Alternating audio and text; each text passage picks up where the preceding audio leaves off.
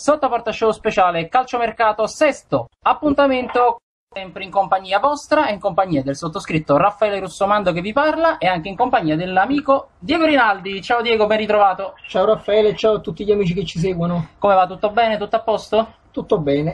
Allora, ragazzi, vi abbiamo annunciato sui nostri canali social che oggi è davvero un puntatone. E la- per chi ci ha seguito sui social non sarà di certo sfuggito il dettaglio, perché oggi abbiamo un duo napolegno carico a pallettoni e ne parliamo appunto con Francesco Bevacqua. Ciao Francesco. Ciao, ciao a tutti, e però permettetemi di salutare, vabbè, magari salutatelo prima voi, però Ciao. Angelo Angelotti, ciao Angelo, eccolo. Come va? Tutto Ciao. bene? Tutto a posto, però sento tantissimo Francesco. Eh. Sento Senti, eh, cerchiamo di migliorarlo un pochettino. Ora lo senti meglio? Francesco, fai una Eccomi, prova. eccomi. Francesco, ci sei? Sì, sì, eccomi, mi sentite? Perfetto, Eh, Angelo, tu lo senti meglio? Adesso, lo sento Ok, perfetto. Ah, ah, io Angelo, perfetto. Perfetto, allora, ragazzi, ehm, allora, partiamo per ordine. Chi comincia dei due? Chi fa il cavaliere? Facciamo cominciare Angelo, vai. Francesco, va. Ah, perfetto, vedi, subito d'accordo. No, ma allora, partiamo noi di regia, dai, Angelo, comincia tu e la domanda la faccio fare a Diego, dai. Cosa cominciamo? E cosa cominciamo con l'argomento C'è della parecchia giornata? roba. Con la telenovela I Cardi, magari. Ecco, Su questo voglio chiedere subito un parere ad Angelo. Eh, diciamo, ehm, la notizia dell'ultima ora che vede Icardi ormai quasi rinnovare con l'Inter spiazza un pochino tutti e mette anche un pochino in difficoltà il Napoli, a quanto vedo. Ma eh, questa cosa che in realtà io ero convintissimo che sarebbe arrivato i cazzi in qualche modo. Poi ha cambiato l'immagine del profilo che proprio Francesco ha annunciato nelle pagine nostre interne e lì insomma o si tratta di una manovra di depistaggio oppure è chiaro che questo eh, avrà trovato un accordo e il Napoli si sarà servito sicuramente per, per chiedere un rinnovo più sostanzioso a questo punto. E noi ci ritroviamo con il solito cerino in mano oppure con il solito cetriolo in mano. e No, cercare speriamo di no. Altra destinazione perché io a questo punto non lo so, faremo la Champions con questo ragazzo polacco per carità che sarà un'ira di Dio, però insomma i Icardi sarebbe stato quello che non dico ci avrebbe fatto dimenticare Higuain, però insomma sarebbe stato un ottimo placebo ecco, per, per lenire eh, certi, certe- certi dolori. Certi diciamo, dolori di questa- pancia, certo. Questa fecondria cosmica che, che ci ha avvolto. Eh, Icardi probabilmente non verrà. e non Ce ne faremo una ragione in tal caso. Ma Francesco, tu che ne pensi? Eh, diciamo che oggi sono rimasto colpito di- da, diciamo, da questo tweet di Riccardi anche perché lo- l'ho letto oh, in diretta perché ero per lavoro su, su Twitter sul profilo della, della mia azienda e ho trovato il, tweet di Riccardi tra le, le ultime e quindi sono rimasto colpito e ho subito pensato ecco là hanno, hanno trovato la- l'accordo per, eh, per il rinnovo e noi glielo vediamo in quel posto insomma Mm, mm. eh, perché è chiaro che ci sia, eh, ci sia stato una- un passo di Cardi verso i colori nerazzurri che per carità ehm, avranno trovato dei soldi da, da investire perché comunque hanno preso Candreva comunque hanno trovato sicuramente un accordo per, per i Cardi mentre noi siamo lì appunto con il cerino in mano e, mi dispiace che sia, siamo stati trattati veramente come L'ultima ruota del carro, ecco, una diciamo. notte, insomma. E questo non, non depone a favore eh, comunque della- dell'operato della società in questa, in questa versione. Vero, Eh, Purtroppo non, non, non va bene, i giorni passano ed è saltato il- l'obiettivo che avrebbe fatto eh, felici, non dico felici, ma comunque avrebbe fatto dimenticare più facilmente uh, Higuain perché Sicuramente. Con tutto quello che volete ma è un giocatore che ha già dimostrato ed è, è fortissimo e avrebbe fatto a, a caso nostro magari non a quelle cifre ma sicuramente a caso nostro. Ah, questo è poco ma sicuro, anche perché... No, eh, eh, vedendo la prova di Gabbiadini di ieri, non so se siete d'accordo, No, il Napoli... Gabbiadini, Gabbiadini, Gabbiadini andrà sicuramente via, cioè Mm. io non ho visto la partita di ieri, mi sono E quindi necessita il Napoli di un'ulteriore punta, no? Sei d'accordo? Non ho capito, scusami. E dico il Napoli a questo punto, ecco, visto che sei d'accordo con me sulla eh, Querel Gabbiadini, il Napoli ha bisogno di un'altra punta. Ma assolutamente sì, a meno che non voler credere, cioè, io avevo letto la notizia noi avremmo pagato sto Milik, Malik, Melek, come si chiama? Milik. 30, 30 milioni di euro, no ragazzi? 35, 35, Guarda, Se, se è vera questa notizia... 30 più 5 di bonus. Io mi auguro che i figli del precedente chiedano l'interdizione per il padre, perché pagare 335 milioni di euro questa scommessa, cioè veramente queste sciute fatte completamente, cioè perché 35 milioni di euro è una cifra abnorme per un, per un, per una per un giocatore che tra l'altro non è stato manco capocannoniere quest'anno, sbaglio. Mm, non saprei dirti. in un campionato dove peggio di quello francese segnano cani e porci, cioè per carità eh, ha sfornato fior di cannonieri che, che hanno fatto storia del calcio. Mhm. Questo premesso e vediamo.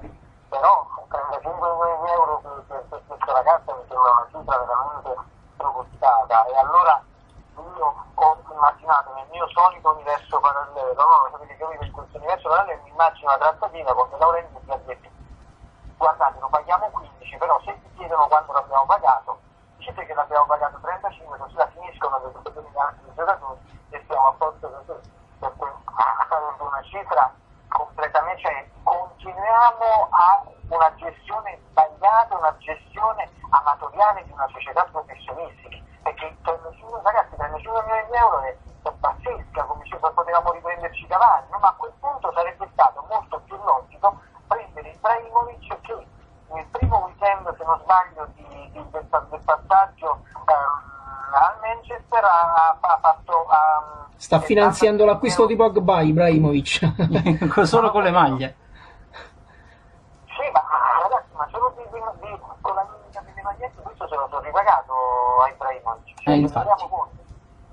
Eh, E poi avete visto che cosa ha fatto? L'altra dice sì, è stato un voto fortunoso, tutto quello che volete voi, ma questo è, una- è uno che nel campionato italiano avrebbe fatto comunque ancora oggi la, la- la differenza.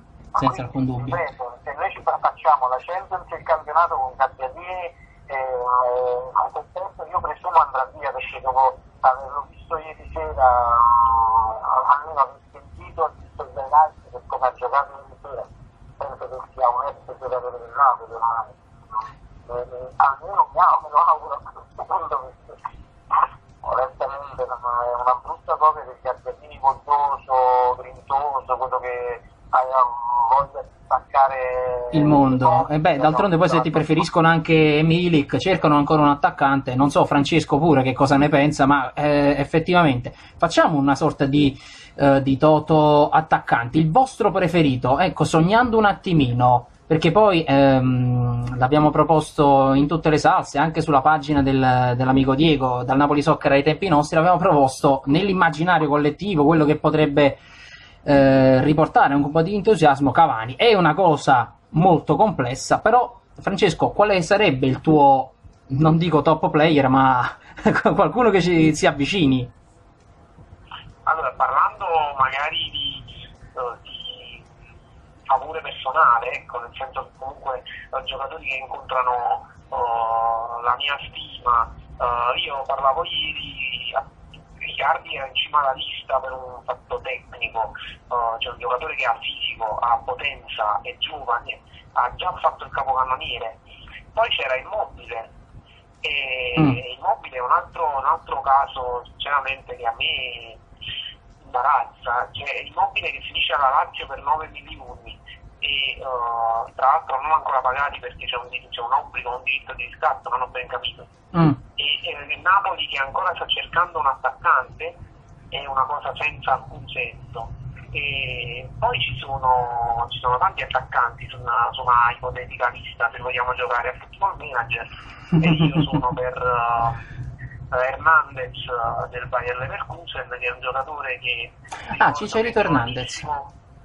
Fece sfiorare un, un fantamondiale con la Gazzetta perché lo avevo acquistato e segnò tre gol, l'avevo acquistato al classico un credito e segnò tre gol al mondiale del 2010 era giovane col Messico e da allora lo, lo adoro e credo che sia un giocatore conveniente che ti porti a casa, però stiamo parlando di giocatori che incontrano il mio favore personale. Certo. Ovviamente Però forse, Francesco, non so se sei d'accordo, rispetto ad altri rispetto ad altri nomi, poi fra l'altro questo sarebbe un nome nuovo e sarebbe anche un nome forse, ecco, rispetto ai cardi, sicuramente con un costo credo inferiore.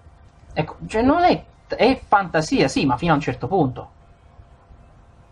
È fantasia, ma il problema è che eh, io non, non dubito eh, che chiunque di noi eh, potesse sedersi per 10 minuti sulla scrivania di, non di Giuntoli, perché purtroppo Giuntoli non decide niente, questo l'abbiamo capito, eh, ma di De Laurentiis e troverebbe in 10 minuti un attaccante su cui poter puntare. Eh, poi possiamo discutere dell'attaccante che non vuole venire, possiamo discutere di quello che, di- de- dei problemi della città, i diritti d'immagine, ma qua stiamo parlando di, una- di una- dire, di un mercato che offre tanto, magari offre tanto a prezzi anche alti, eh, ma stiamo comunque parlando, proprio il caso, il caso immobile ci fa capire come la società non si sia mossa bene, perché immobile lo portavi a casa con due lire, e immobile non è scarso, immobile è un grande attaccante, e ha dimostrato tanto sia come giocatore nazionale, io ricordo comunque quello con Dortmund che fece contro l'Arsenal e si fece a metà campo, Sì. è un giocatore comunque che ha questa esperienza anche internazionale, magari non si è trovato bene perché non parla una parola di tedesco Eh. in Germania, però è un grande attaccante, 9 milioni di euro non sono niente, non sono niente. E poi in Italia comunque ha fatto ampiamente bene, soprattutto con la maglia del Toro. Ma guarda, io mi auguro veramente che mh, la situazione Icardi possa essere un bluff anche da parte della società per nascondere il reale nome, perché a questo punto poi la situazione diventa abbastanza preoccupante se dopo Icardi non c'è nessun altro nome in lizza. Io ma vi propongo, oh, diciamo, faccio una proposta, ma secondo voi è talmente impossibile l'arrivo di Morata perché le stesse cifre, sia economiche al calciatore e anche di cartellino, magari potrebbero essere offerte per eh, l'attaccante spagnolo, perché per Icardi si parla di 7 milioni all'anno più metà diritti d'immagine, sarebbe una cifra che si potrebbe offrire anche a Morata. Ma quanto lo compri? Cioè, se, a qua- quanto costa Morata oggi? Beh, ma se arrivi, se arrivi ad offrire quasi 70 milioni per Icardi, magari 70 milioni il Real Madrid, non so se te lo dà, ma potrebbe essere anche un'offerta che potrebbe far vacillare il Real Madrid, questo non lo so però. Ma guardate, io on- onestamente io sono, sono molto, molto pessimista. Cioè, allora, l'unico indizio che mi farebbe propendere per un acquisto di Nere è il fatto che la maglia numero 9 non sia ancora Occupata. E questo è un segnale. Eh, questo insomma mi fa pensare. Però voi dovete pensare anche un'altra cosa, che la rosa dei nomi non è poi così ampia. Per- Perché tra quelli che costano tanto, tra quelli che non vogliono venire, tra quelli che non ne vogliono vedere, c'è, c'è anche una lista di personaggi che non andrebbero, non sarebbero inclusi a parte. C'è un- tutta una serie di attaccanti, o meglio di tipologia di attaccante che Sarri non vorrebbe per certe caratteristiche, per certe qualità che Sarri non vorrebbe. Quindi la rosa alla fine non è neanche così ampia come la si potrebbe immaginare, ma si restringe sempre di più. Perciò io sono molto più pessimista da, da, da, da questo punto di vista. A, a meno che eh, Angelo, il Napoli proprio trovandosi proprio alle strette, alla fine non faccia un'offerta alla Fiorentina per Kalinic, magari inserendo Gabbiadini. Eh, Perché poi io, l'Inter con l'acquisto di Candreva ora mh, non lo so se poi avrebbe la forza economica di spendere altri soldi anche per Gabbiadini. Da no, solo. però ha, cioè. ha- ha fatto un'offerta per anche. Eh, ecco, Ho letto che- ha maggior Eh, ragione, eh, quindi niente da Allora, fare. Però, però io voglio capire, scusate, io voglio capire pure una cosa di questo fattore finanziario. L'Inter è una squadra che sta inguagliata ed ha un rosso di bilancio spaventoso, più di intorno ai 140 milioni di euro, se non, so, forse- non, non mi ricordo bene, ma c'ha un rosso di bilancio che è spaventoso. Allora, dove sono le cose? O con, con- con l'arrivo di questi nuovi soci c'è stata una ricapitalizzazione e allora è un conto, ma altrimenti questi come fanno a fare mercato? Se non sbaglio hanno avuto pure una segnalazione da UEFA, Vero. erano già stati richiamati da UEFA, ma come fanno questi a fare, a fare questo mercato? Mm, È una bella altro- domanda che, mi sfugge, non vorrei dire di sì, ma l'Inter ha ancora quel, quel buco di bilancio grosso lì incombente che un po' non è stato, ripeto, a meno che non sia intervenuta una ricapitalizzazione da parte dei nuovi soci che sono entrati eh, in società e ci hanno messo soldi nuovi.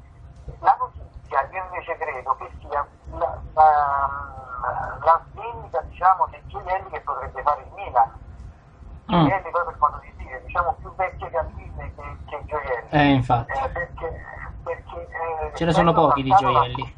da- eh, essendo saltato d'accordo con, con i cinesi, eh, il Milan il gioco forza deve vendere.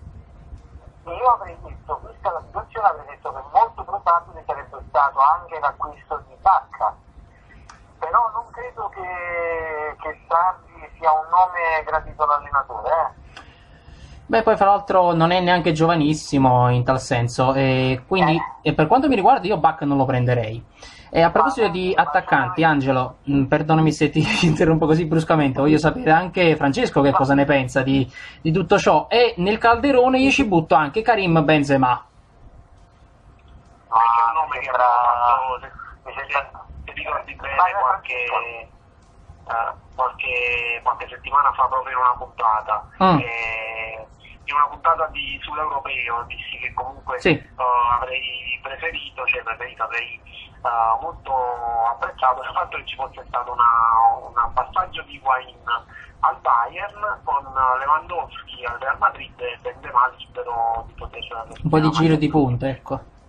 eh, questo però eh, il problema è, adesso è un altro, nel senso che eh, siamo alle stringhe, ormai non c'è niente da fare, l'acqua alla gola ce l'abbiamo e quindi eh, come diceva Angelo, e purtroppo però non è un nome gradito a Sarri, questo lo sappiamo abbastanza come una notizia certa, lo possiamo far passare come una notizia certa, l'unico nome che abbacca, perché eh, il Milan è in condizioni pietose, Abbastanza pietoso, sì. ha saltato anche l'ultimo diciamo l'ultimo cruising con i cinesi sembra che non se ne faccia nulla. Eh, l'Inter sicuramente ci sarà stata una ricapitalizzazione perché altrimenti non, non si spiega altrimenti dobbiamo accusare qualcuno di non, far, di non far rispettare le regole. Ci deve essere per forza eh, un, un muso giallo che è arrivato e ha, ha messo dei soldi perché altrimenti non si spiega. E quindi con questi soldi che ha comprato Candeva si farà il rinnovo di Cardi e guardate che secondo me questi prenderanno anche Barbusa, prenderanno anche Gabigol Sì. e, e faranno un mercato per diventare la seconda forza d'Italia. E questa è una mia paura purtroppo, perché comunque nel momento in cui arrivano persone con eh, grandi soldi, eh, grandi quantità di denaro da spendere, e devi anche accettare il fatto che abbiano una potenza economica molto maggiore della tua, Sì. che possono in breve tempo diventare, come è successo per tante altre squadre, per esempio il Saint Germain, delle potenze europee. E Però Francesco, scusami se ti interrompo, ecco, rispetto al Napoli, ehm, l'In- cioè, scusa, eh, l'Inter rispetto al Napoli e a Roma ha una certezza in meno, l'allenatore. Questo potrebbe essere un freno. ma magari restarsi a vita Mancini eh, non lo so, io lo, re- lo reputo uh, incompetente è una persona che non sa far giocare i giocatori che lui ha scelto e questa è una cosa che, che un allenatore uh, ma confrontiamolo con Sarri Sarri sceglie dei giocatori uh, comunque sceglie di puntare su quei giocatori all'inizio anno però poi li fa rendere. E Mancini ha chiesto uh, Shakiri ha chiesto Podolski. Shakiri sembra il, il cognato oh, di quello che abbiamo visto al Bayern Monaco, Sì. poi va via dall'Inter, va allo Stoke e fa dei gol meravigliosi, poi arriva all'Europeo e segna un gol di rovesciata da fuori area Ecco. ed è diventato un'altra volta un campione. Questo vuol dire che la responsabilità dell'allenatore no- nel non, non far rendere i giocatori che egli stesso ha chiesto è, è palese. Quindi Mancini affida all'Inter, per me fin quando ci sarà Mancini non ci sarà un problema, io ne faccio una questione economica.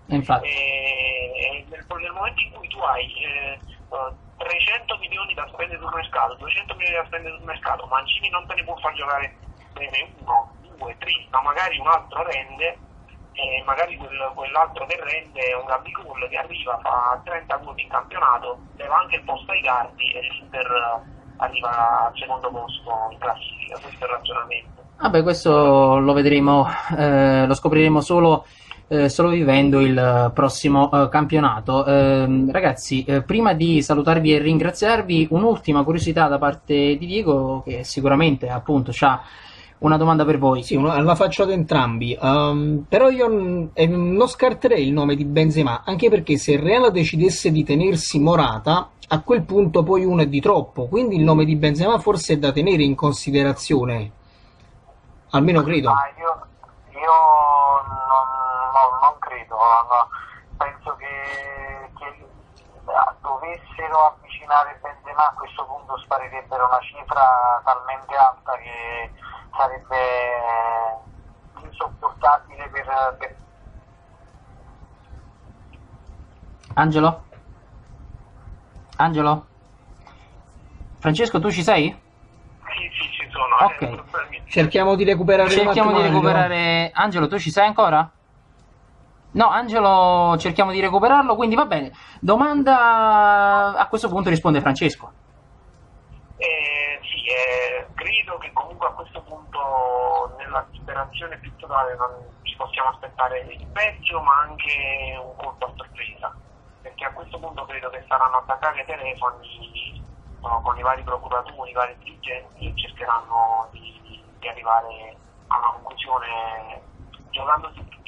Perfetto, Angelo, abbiamo recuperato anche il collegamento con Angelo. Eh, faccio terminare un attimo a Francesco. Angelo, scusami, abbi pazienza e, e poi riattacchiamo con la domanda precedente.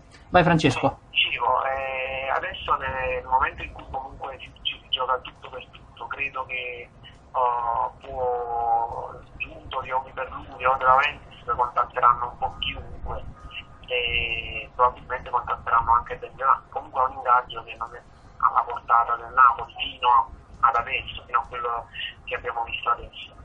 Credo che è una cosa che non si farà. Mm. Io credo che invece alla fine Sarri si convincerà di Bacca e credo che sia questa la strada più semplice per tutti, per il Milan, per il Napoli, soprattutto faremo piacere al Milan e questa è una cosa che rode non poco. Mm, E purtroppo è così, perché adesso il Napoli, questo è stato un mercato in cui non si, fatta una plusvalenza e si è fatta una plusvalenza per far arricchire altre società ed è questa la, la più amara verità, eh, considerato anche il fatto di Milik. Tra l'altro volevo dire una cosa, ci, sì, ci sono due, c'è chi ha detto oh, no ma quelli sono 33 più 2, no no ma quelli sono 34 più 1, ma che senso ha parlare di queste cose? Anche No, 30 appunto. è troppo per Milik. Eh, a quel punto tu hai arricchito l'Ajax e hai comprato un giocatore che è un'incognita pazzesca, anche se ha segnato tanto, ma vedendo comunque le immagini dei gol sono no, niente di, di eccezionale. Questo alla fine porterà il Napoli comunque a puntare sull'ultima spiaggia e l'ultima spiaggia dove abbia il nome di Bacca e Sarri però deve convincersi. quindi Bacca Milik per eh, il dopo Higuain. Esattamente. Ma guarda, io sinceramente spero non sia così, anche perché comunque ragazzi il campionato qui incombe, eh. qui fra 20 Anche la giorni qui fra 20 giorni si parte, cioè il Napoli non ha più tempo da perdere. Il Napoli deve darsi veramente una sbrigata ad acquistare questo benedetto attaccante, non solo. E completare anche la squadra. Necessita anche ancora di due centrocampisti, eh, un portiere e un esterno, perché qui ancora oggi sento dire che forse si punterà su maggio. E la cosa mi lascia un po' perplesso, sinceramente. Scusa, lo stato sicuro, no? Eh, Un po' troppo. nella, nella- ne- nella ben nota logica dello Sparagnam e con Marim Ecco. eh, riteniamoci, andiamo avanti con Masi, guardate che io penso che questo sia uno dei peggiori eh, calciomercato del Napoli dalla, dalla, dalla, dalla- da dieci anni a questa parte. Io penso che veramente mai come quest'anno ci siamo trovati in una situazione Abbiamo perso si di nuovo Angelo Angelo. non è. Si vede che Abbiamo Angelo non è perso- in un'ottima posizione oggi. Abbiamo perso Secondo me è colpa di De Laurentiis che lo sta sabotando. Sì. ecco, Angelo, no, io- noi sta- stavamo scherzando che secondo me era De Laurentiis che ti poteva sabotare. mi, mi stanno sabotando, sì, sì, ma sicuramente mi stanno sabotando. No, dicevo, questo è uno dei peggiori mercati de- dell'era, dell'era dei Laurentiis, eh, detta- dettato dal fatto che eh, manca una programmazione e ripeto, noi del Napolegno è da gennaio, da quando il Napoli era primo in classifica, che diciamo va benissimo così, ma dobbiamo iniziare a programmare e già parlavamo di programmazione nel corso del mercato invernale, quando sarebbero stati utili quei due barra tre innesti validi che ci avrebbero permesso di quantomeno di lottare con la Juve fino alla fine e di non rischiare addirittura il secondo posto. Invece continuiamo con questa situazione superficiale, con questa situazione eh, veramente da dilettanti e eh, saremo purtroppo costretti, come dice anche Francesco, a eh, accontentarci, tra virgolette, sia noi che Sarri, perché è un nome che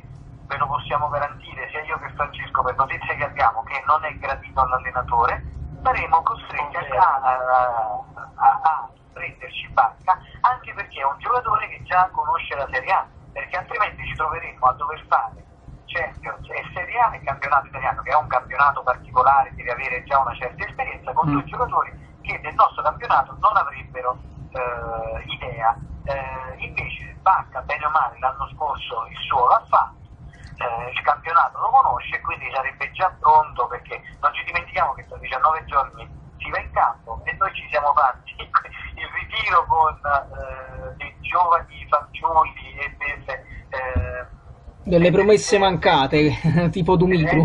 ma non solo, ma tutti quelli che ancora dobbiamo smaltire. Poi mi dispiace per il, per, per, per il termine che uso perché si tratta comunque di, di, di esseri umani, si tratta comunque di calciatori però comunque anche questo ha tutta la serie di, di, di, di, calciatori che ci troviamo a dover smaltire nel corso di ogni calciomercato è sempre frutto di una cattiva programmazione, di un quadro tecnico non soddisfacente, perché nessuna squadra, tutte le squadre di vertice, ah, programmano non di mese in mese, ma programmano l'anno prima per l'anno dopo.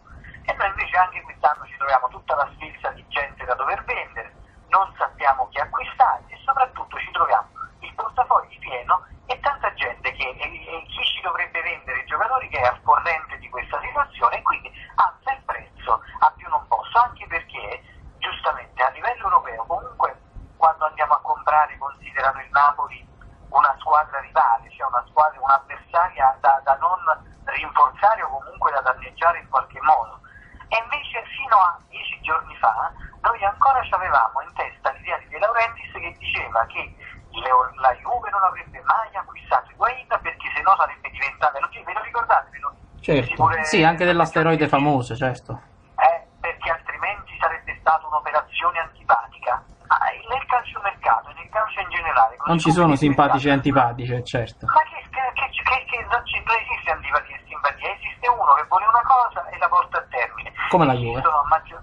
Ah, eh, beh, Purtroppo. a maggior ragione in, eh, con le società professionistiche eh, delle, dei traguardi da dover raggiungere, soprattutto degli obiettivi a societario da dover raggiungere, perché qui non è che giochiamo con la squadra dell'oratorio eh, che non passa il campionato, non vince il campionato e ci vediamo l'anno prossimo. Eh, qui no. sono soldi che si perdono.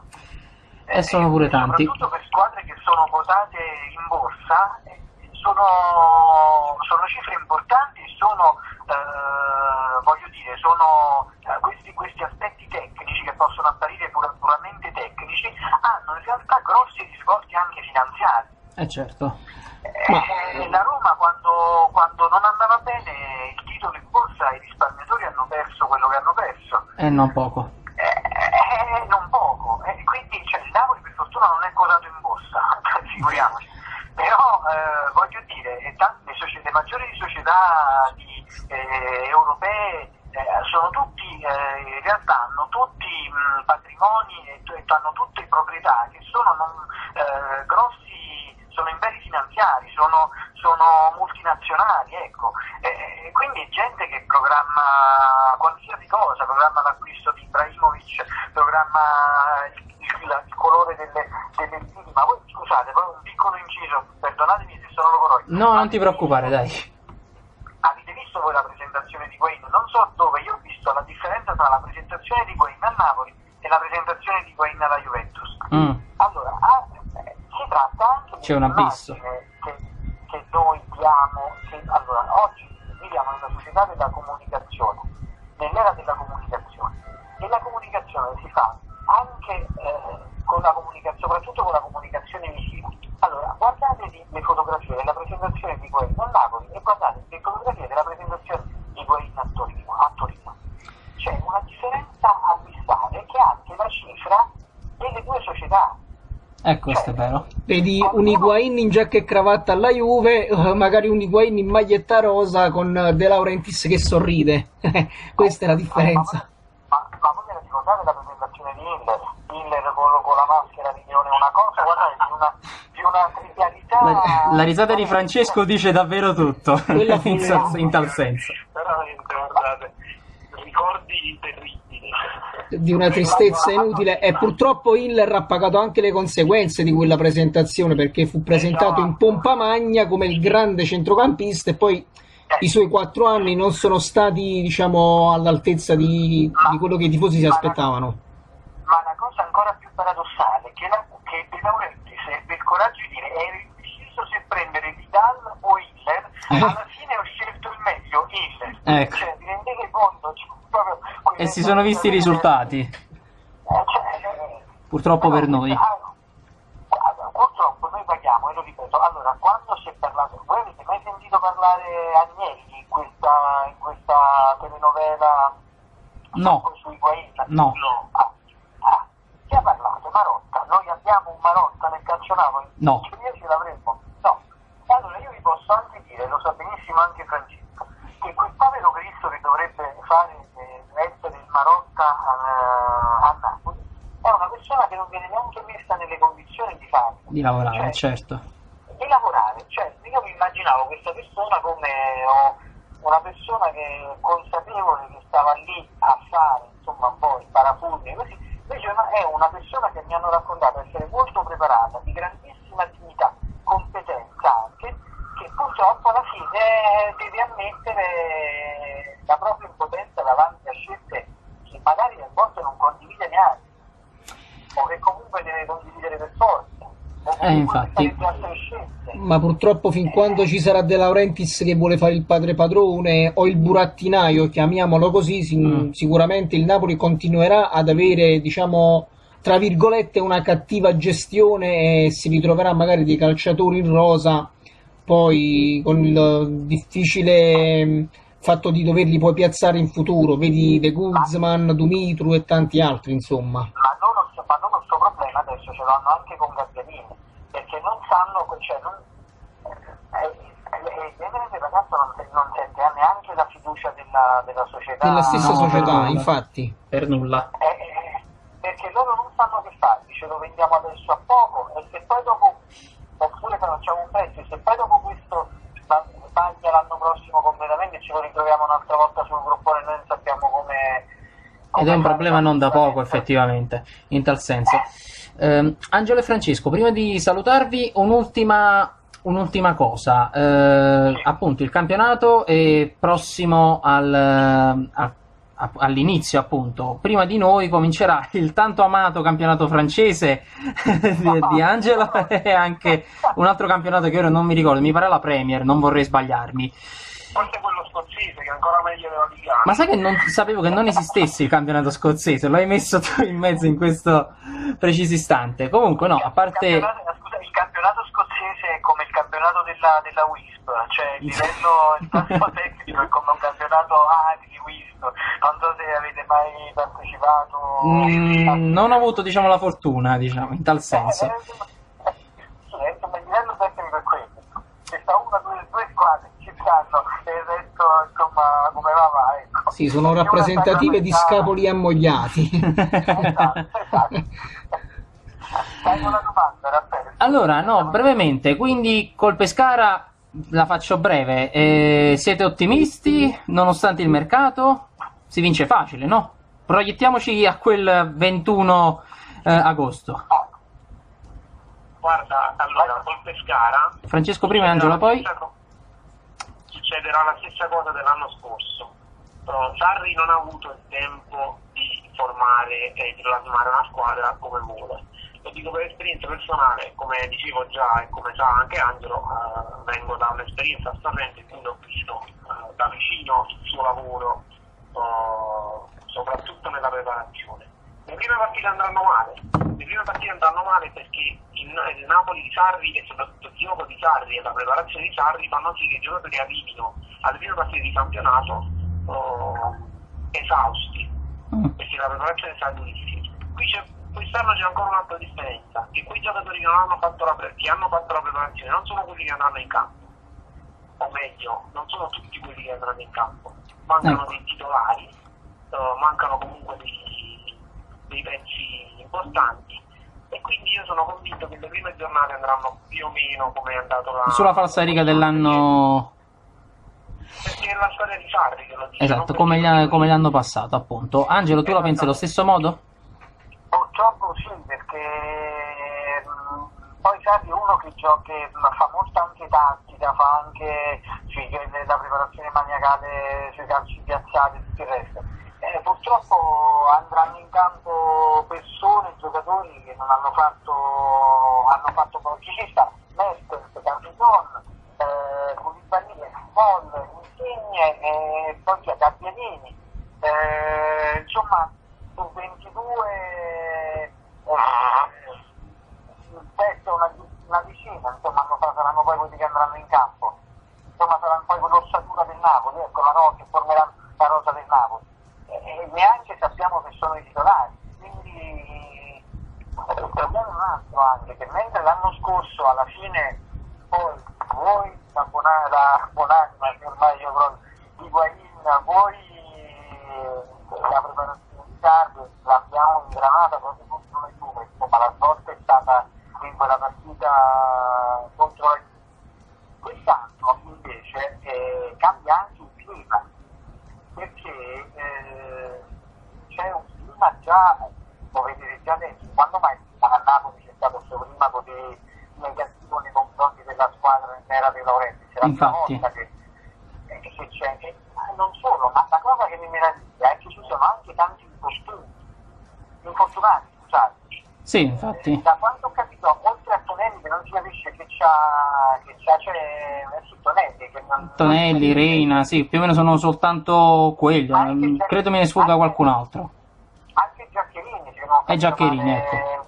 è infortunato, cioè, ma non è manco mai capitato nella storia recente del Napoli tutta questa serie di infortuni a inizio campionato che bloccavano, quindi io non, veramente noi ci stiamo frusciando che stiamo facendo le macumbe ai Guain, ma le macumbe No, ti prego, Angelo, speriamo di no. Mm, Potrebbe anche darsi che magari il Napoli in vista della Champions abbia, abbia fatto una preparazione diversa, perché devo dirti la verità, Angelo, ehm, io ieri ho visto la partita e mi è sembrato di vedere un Napoli già abbastanza in palla. Vabbè che il Nizza fosse una squadra mm, para- di Serie B, però ho visto delle ottime cose, sinceramente. Ehm, Bisogna ripartire da lì, ecco.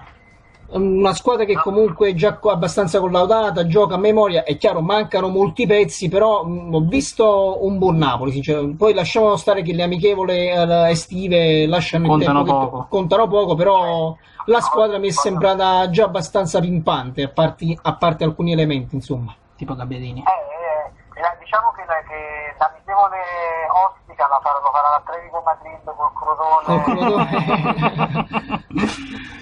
Vabbè, dai, chiudiamola, chiudiamola da questo punto di vista.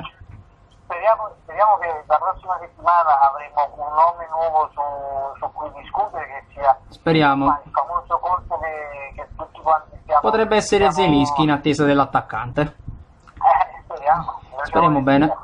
Ragazzi, io vi ringrazio per eh, questa bella chiacchierata duplice in compagnia vostra. Ci ritroviamo nelle prossime occasioni. Ciao Angelo, ciao Francesco, alla prossima. Ciao, Angelo, ciao Angelo, ciao. ragazzi. Ciao, ciao Diego. Ciao ragazzi, grazie. Ciao ciao ciao ciao. Buonanotte, ciao. ciao. Ciao ciao ciao.